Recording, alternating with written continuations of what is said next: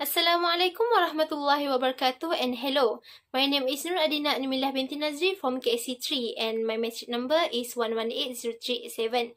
So today I would like to explain my understanding about chapter 2 and 3 in the book entitled Principles of Journalism by Dr. Siti Sriani Osman. So this book consists of four main chapters that tells us about principles of journalism and help us to understand it and its related issues. Firstly, in chapter 2 of this book tells us the principles of journalism from several viewpoints such as from the book The Elements of Journalism, Ethical Journalism Network, the Society of Professional Journalists, Al Jazeera, British Broadcasting Corporation BBC, Poynter Institute, Associate Press, National Public Radio and PR and Malaysian Canons of Journalism. For me, the most important principles of journalism is truth and accuracy, as people depend on newspaper as a formal and credible resource to know any information of what goes around the world. It was also mentioned that we cannot become partial and biased to certain group and must be loyal to citizens as what been said in this chapter, that a journalist has to adhere to what has been called reporting without fear or favor. In SPJ Code of Ethics, four principles as the foundation of ethical journalism has been listed and what journalists should do to implement the principles. For example, to reach the accuracy of a news, journalists should verify the information before releasing it and never distort facts or context, including visual information. Several guidelines for journalists on photo, video, graphics, and social media are also listed in this chapter so the journalists know what he or she should do. Lastly, we can know and understand the canons of journalism that has been adhered by Malaysian press. For example, a journalist should report facts accurately and faithfully, and he should respect the right of the public to the truth.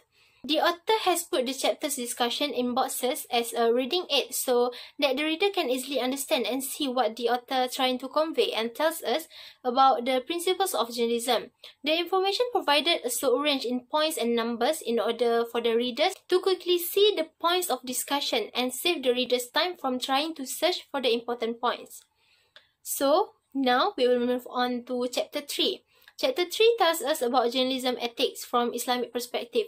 The author have listed seven research that was previously conducted by scholars in journalism to explain the Islamic journalism ethics. It was also mentioned in this chapter that Ibn Khaldun, which was the first thinker uh, that pointed out what is the communication based on ethics five fundamental principles of communication ethics for a Muslim journalist was also mentioned in the research by Maulana and it was the concept of uh, Islamic worldview. The explanation for every principles were also written to help the readers to fully understand what has been discussed. The principles are Tauhid, Amar Ma'ruf Nahi Munkar, Ummah, Taqwa and Amanah. From the Tauhid, we can understand that this principle negated any communication and messages that subjugates humankind to creatures. Secondly, Amar Ma'ruf Nahi Munkar, which means commanding to the right and prohibiting from the wrong. This taught us that it is the responsibilities of Muslims in guiding each other. Thirdly, Ummah, which literally means community. From these principles, we know that Islam does not differentiate between the individuals as a member of community. Next, taqwa, which means piety or devotion. It is the ability to guard oneself against the unethical forces. Lastly, amanah.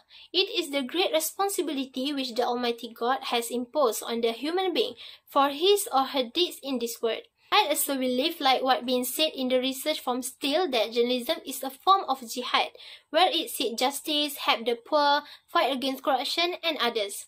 Seven lessons from our Prophet, peace be upon him, that a journalism student should understand was being mentioned.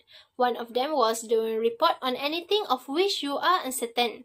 In this chapter, the author also arranged the mentioned points from every research in bullets so that the readers can easily locate which is the main idea or discussion of this chapter.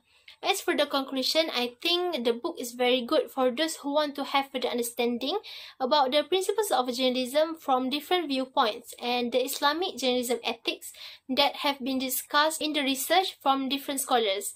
That's all from me. Thank you.